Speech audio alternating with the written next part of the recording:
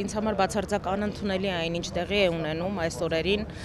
Տիկին Գայանեի նկատմամբ, որովհետև ես իհարկե հասկանում եմ, որ կան օրենքներ եւ եթե մենք ապրում ենք իրավական պետության մեջ, ապա պետք է առաջնորդվենք օրենքի գերակայության եւ օրենքի տարի առաջնահերթությամբ, բայց գրված օրենքներից եւ հաստատված օրենքներից կարծում եմ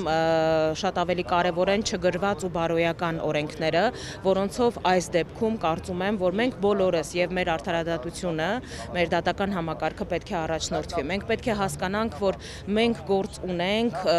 իրենց համար ամենաթանկը զավակներին հայրենիքի պաշտպանության գործին զոհաբերած մարդկանց հետ։ Պետք է բարոյապես եւ մարդկայնորեն հասկանալ այն մայրերի, այն ծնողների հոգեվիճակը, որոնք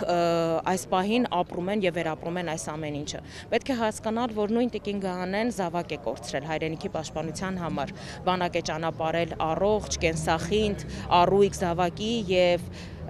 փոխարենը այսօր այն ինչ որ ունի դա բացառապես շիրիմն է երաբլրում եւ այս տարիների ընթացքում վստահաբար զոհված մեր հազարավոր զինվորների ծնողները ունեն բազմաթիվ հարցեր նրանց ուղեղներում հնչում են բազմաթիվ հարցականներ որոնց պատասխանները նրանք այդպես էլ չեն ստացել եւ մարդկայնորեն պետք է հասկանալ նրանց հոգեվիճակը որևէ դեպքում ցանկացած բռնություն ես իհարկե չեմ արդարացնում բայց կրկնում եմ որ մենք պետք է առաջնորդվենք ավելի շատ չգրված օրենքներով բարոյական օրենքներով պատճառով, որովհետև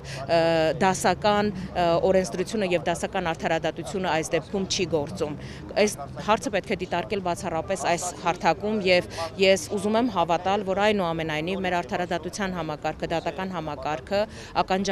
ականջալուր կլինի հանրության կոչին առաջնորդվել բարոյական օրենքների ուսումնասիրմամբ, առաջնորդվել խղճի այսպես առաջնահերթությամբ եւ որևէ դեպքում չկալանավորել Տիկին Գայանեին, որը կրկնում եմ, որ իր համար ամենաթանկը իր զավակին է տվել հայրենիքի պաշտպանության գործում։ Կարծում եմ մենք բոլորս այսօր այստեղ ենք հենց այս գաղափարը բարձրաձայնելու համար։ Իհարկե միանշանակ ի աջակցություն Տիկին Գանեի, ի աջակցություն զոհվածների բոլոր ծնողներին, որովհետև այսօր կարծում եմ, որ ավելի շատ հավաքական կերպար է դարձել Տիկին Գանեն, կրկնում եմ, որևէ դեպքում, որևէ բռնություն, իհարկե որևէ մեկը չի արդարացնում, բայց այս հարցը պետք է դիտարկել բացառապես բարոյականության եւ բարոյական օրենքների տրամաբանության մեջ եւ ոչ երբեք գրված օրենքների եւ այսպես քարացած արդարադատության նորմերի դեպքում։ Տիկին Տոնոյան քաղաքական ուժերը ձեր կարծիքով ինչու հանդես չեն գալիս հայտարարության խոսակցությունները։ Մարդիկ ասում են, որ քաղաքական ուժերը հենց նման դեպքերում պետք է արձագանքեն, որպեսզի նաև անձն համալի քաղբանտարկյալ։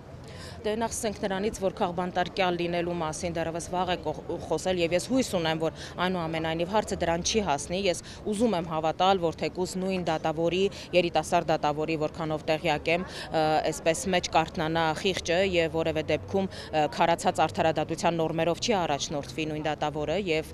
կհասկանա, որ մենք գործ ունենք հայրենիքի պաշտպանության գործույն իր կյանքը զոհաբերած, այսպես